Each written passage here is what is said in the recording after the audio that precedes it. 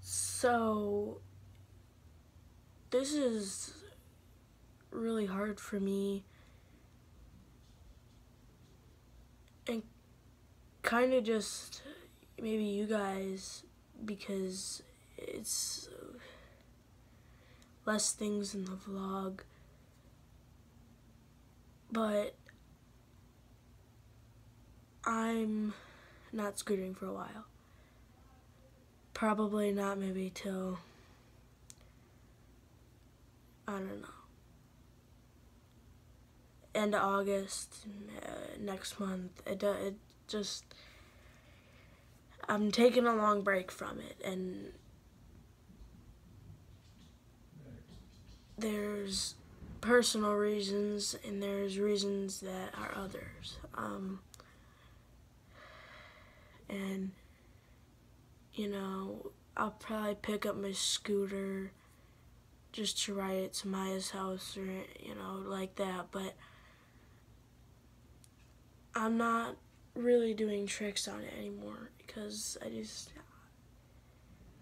I'm taking a, a break um, so I thought I'd share that with you just so that you guys wouldn't comment like on my other vlogs after this um, you know hey Charlotte why aren't you scootering anymore so I thought I'd let you know and don't worry guys, I'm not going to like BMX or inline skates or anything like that. I still want a scooter, but I just can't right now. I'm not physically hurt, like I can still move my legs, I can do everything, but you know, it's just when some things come, some things go. And what came me to for me today, I had to let scootering go. Guys, this is not a prank. Please do not comment down below. Stop pranking. It's not a prank. I'm being serious. I'm just not going to scooter for a while, and that's my final choice. I mean, yeah.